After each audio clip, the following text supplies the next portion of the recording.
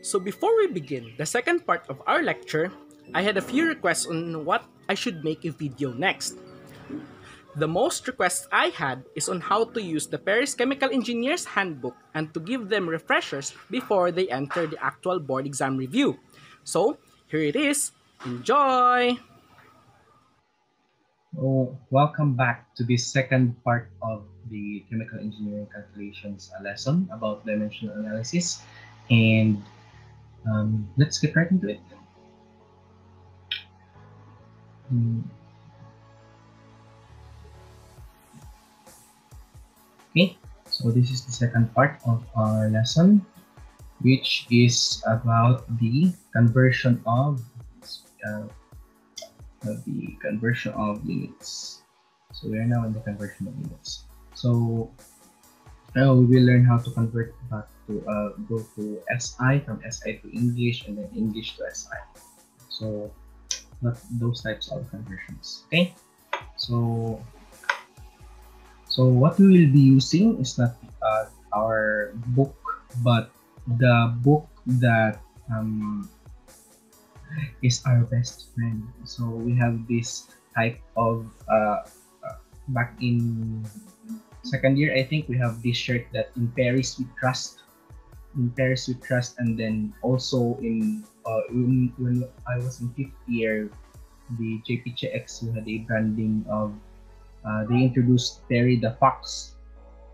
Okay, Perry the Perry the Fox because it presents the cleverness, the slyness of it uh, it's expected of us chemical engineers. But uh, the Perry's Chemical Engineers Handbook in college failed me actually. So I can remember from my post. So this is back in third year. So when the book that you trust uh, so much fails you, I have I have so much respect in this book, but I don't know how to use it. So that's uh, the essence of that post in back in July, and then much earlier, it was uh, I think it was in our midterm exam that I really don't know how to use the Perry's uh, handbook, uh, and I failed that exam sadly. So, uh, if really no, if uh, if uh, if this was this is really considered as a Bible object because we have uh, all our most of the information that we need there and it's really heavy eh, so grabe kabugat so really heavy nasa doon tayo spirit so I was imploring that if the Perry's was a Bible so might be there will be a spirit that uh, will reside in my brain so that I will understand what it says and how to use it. So Chet 22 is uh, chemical engineering thermodynamics and I think it's your Chet 29 now. Uh, I don't really know. So uh, if you are looking to, if you are planning to buy a Perry's Chemical Engineers Handbook, I suggest the uh, 8th edition. Okay, so for in the in the board exam, uh, you can use up to sixth edition. So for the earliest, you can use the sixth edition uh, up to the ninth edition actually. But I ad- advise against buying the uh, ninth edition because there are a lot of tables that are removed and it's not much. Uh, I don't know. I don't have a copy of it, but when we it was presented to us, the a lot of uh, tables were removed from the 8th edition to the 9th edition. And actually, the most ideal uh, edition of Perry's uh, that uh, will be used, I think, I think, uh, because it was uh, told to us, but it was advised also to us uh, from our teachers, the 7th edition. But you can't buy a hard copy of 7th edition anymore because it's also it is already phased out. So your best uh, uh, your best shot in the uh, in the exams and the board exam is the 8th edition. Okay but there are uh, e-copies of a 7th edition you can find. But I suggest you will use the 8th edition. Okay? So tables to be used in the 8th edition because uh, it's uh, it's also the edition that I'm using is a table 1.6, uh, table 1.1-9, uh, and table 1-10. Okay, so let's get right into the sample problems. So we have to convert the following units. Okay, so 5 horsepower. So this is horsepower. British horsepower to foot pound force. Foot pound force per minute. No. In the Perry's, just have uh, foot pound force. It only puts there foot pound per minute. And then 70 Winchester, Winchester bushel to cubic meters and uh, 8.314 joules per mole K to PSI uh, PSI foot uh, cubic feet per pound mole degree Rankine. Okay, so how do we solve that? Uh, using our Perry's. Okay, so from the tables that I have presented you earlier, this is how you can use or how can use them to answer these questions. Okay, so for table 1-6, we have the alphabetical listing of common conversions. So you can find there uh, the directions on how to use it. So for example, uh, to convert um, horsepower British to foot pounds per minute, you have to multiply your um, the given value to you or the problem to by the uh, value that is given in the Perry's. For example, you have to multiply 5 HP by 33,000. So just uh, plug and play. So 5 times 33,000. So you will get uh, 165,000 foot um, pounds per minute. Okay, so that it's really that easy. Next, the 70 Win Winchester, Winchester bushel. Okay, so you can find it in table 1-10, the United States uh, United States Customary System of Weights and Measures. So it gives you the 2150.42 cubic inches. But I also found a, value that is similar to this in table 1-6, which is the bushels uh, US dry to cubic meters, you just have to multiply it by 0.3524. So let's multiply that. Uh, 5, 2, 4. So you will get uh, 2.47 Okay, so that's that easy. You use your Perry's. Okay. And then for the last part, if you can recognize this, what is this? It is the universal gas constant R.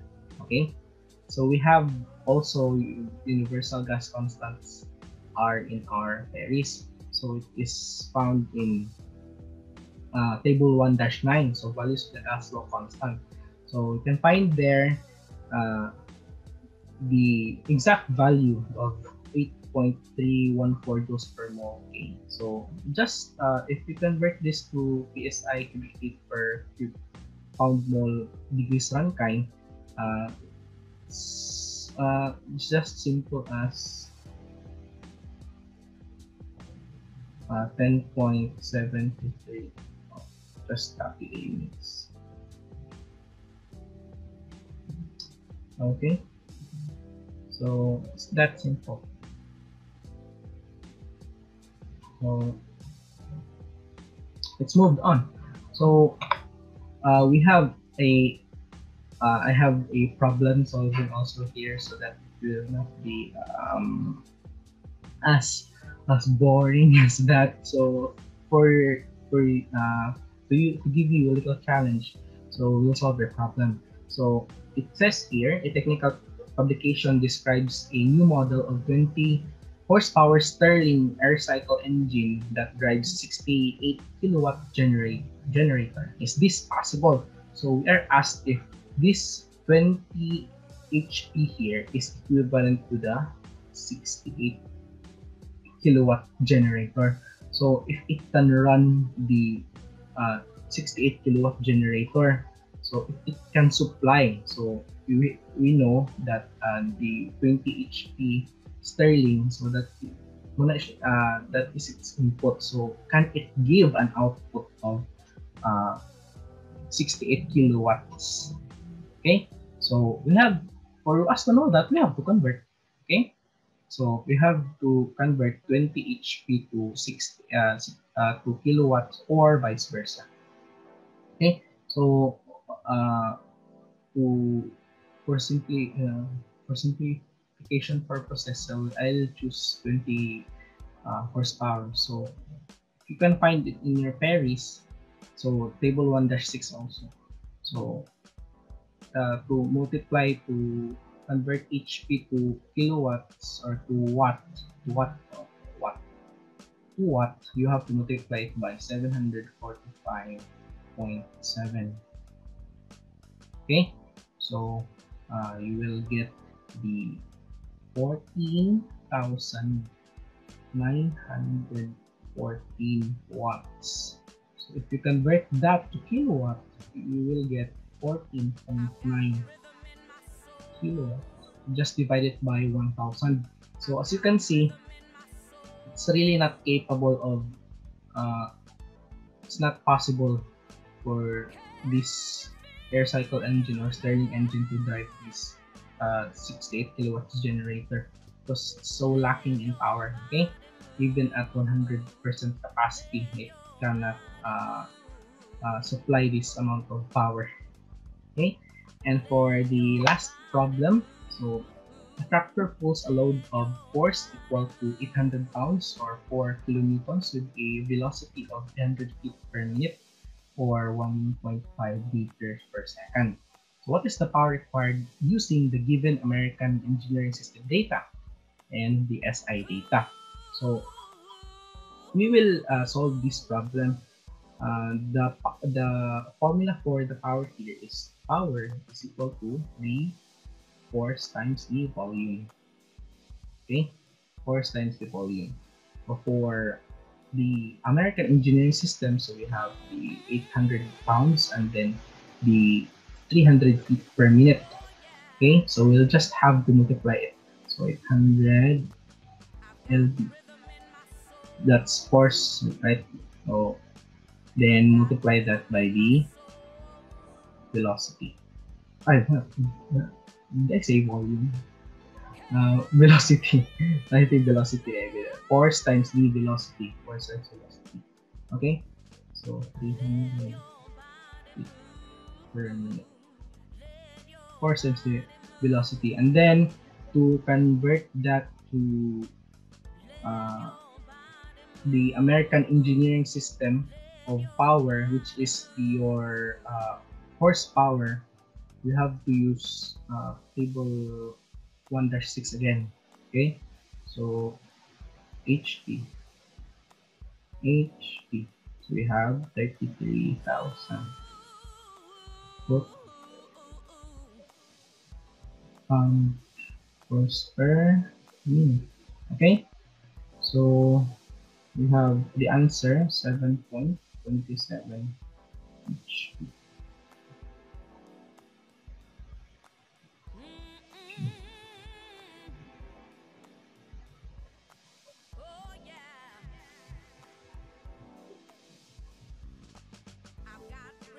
For the SI, the same.